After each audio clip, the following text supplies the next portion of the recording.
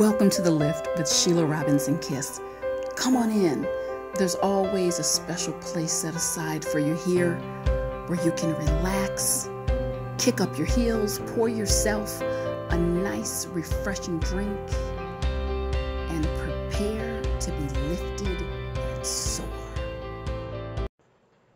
Hi, everyone. Welcome back. Thank you so much for being here. Always wonderful to connect with you. I hope wherever you are today, you are feeling lifted, you're feeling grounded, and you are focused on what is working and what is beautiful in your life. That's how we hold the momentum that propels us forward. Want to jump right in um, to today's message why some people just, no matter what, they have to be right they can never be wrong. And I want to talk about how this impairs uh, your life, your work, and all aspects in between. I love the quote by Peter McIntyre, and he says, Confidence comes not from always being right. But confidence comes from not being afraid to be wrong. And there is a distinct difference there. And there are those walking among us, you can call it a stubborn refusal, a hesitation, a trepidation, what have you. They don't want to be wrong, but in either case, it is a sign of arrested development. And I would refer you to the video I did last week on arrested development. There is a, a component to that mental positioning that is inherently um, immature because when you uh, bump it up against the reality, we are evolving, we are changing, mistakes will be made.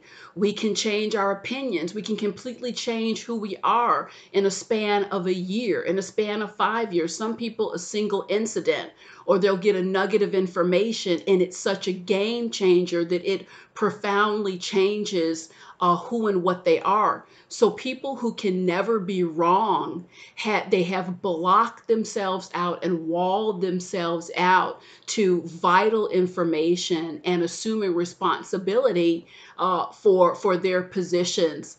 So want to share a story with you that really perfectly illustrates um, the damaging effects of just insisting uh, 24 7 365 uh, that you're right i was sitting group of four people um, trying to come to a consensus on how to move a project forward one of the individuals in the group um, started uh, quoting some information stats on a report and I knew it was incorrect. Uh, the other people around the table knew it was incorrect, easy enough to pull it up on Google. And this individual kept, he wouldn't let it go. He wouldn't let it go. So you if it's easy enough to pull it up on Google, that's what we did. And even faced with the hard data in front of him, he held on to this and even extended extended this um, wrong thinking. He extended it into something turned into a flat out lie. He said, Well, there's a different report, there's a different body of work. Give me a couple days to pull it up. There was no different report or different body of work. It was his ego it was his ego talking and he couldn't stop himself and he couldn't be wrong and it was an attempt um, likely um, to impress i want to look strong xyz it did the absolute opposite. It did the opposite. Many people have that mentality uh, that perfectionistic mentality it is weak it, they they um, couple being wrong with a sign of weakness, and nothing could be further from the truth. The uh, studies, and you can check these out on Google. Study after study tells us that leaders.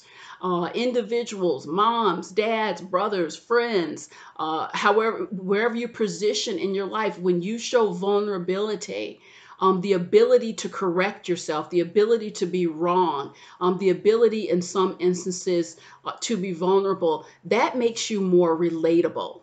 That um, connects people to you. Um, it builds a sense of trust.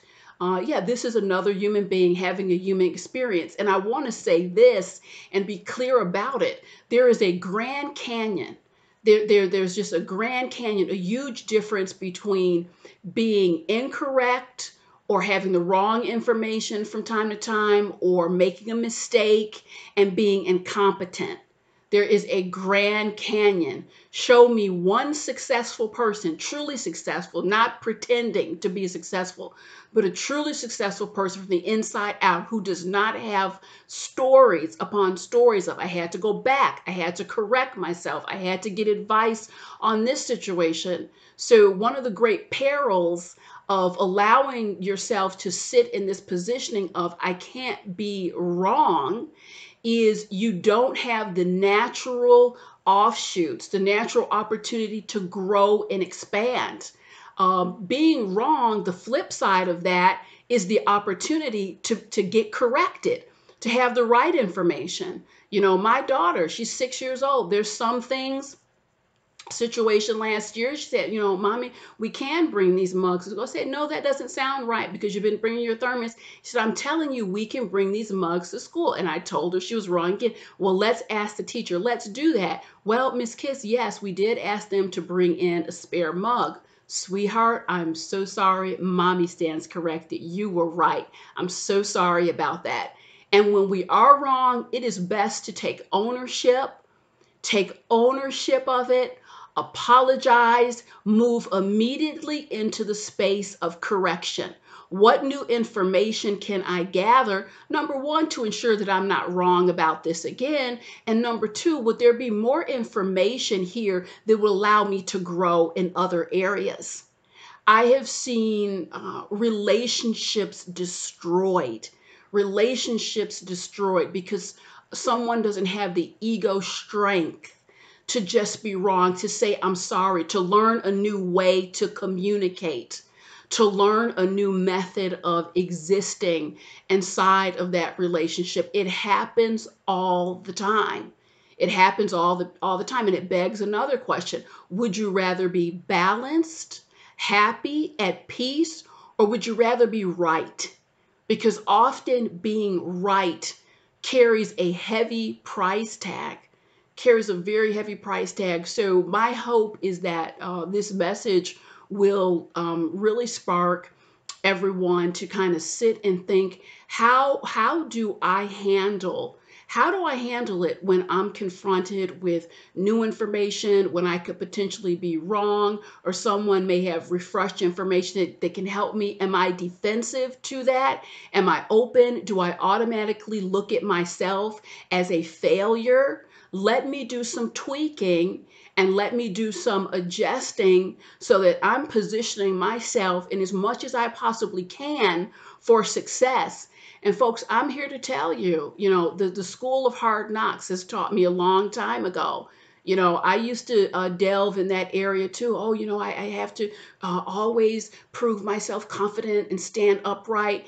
And I try as much as I can to take my walk in excellence um, I'm always striving and I want to grow and be better and learn. However, I have had to conclusively, uh, you know, come to conclusion that part of that part of that is understanding that you will fall. You will there will be failures. There will be gaps of information that are missing. And what you don't do is just reach and grasp put you know information in there that's not valid and what you don't do is have such an exterior where you're leading with your ego that you can't drop it and say, Yeah, you know, you're right. Your idea is better. How can I get more information? I was headed in the wrong direction there. Though it's a muscle. And the more you use it, the more you use it, the easier it gets in expansion. Tremendous expansion follows. So thank you so much. I hope this has been helpful. I've got your back and I'll be coming back at you with some more great content. And please don't forget to subscribe.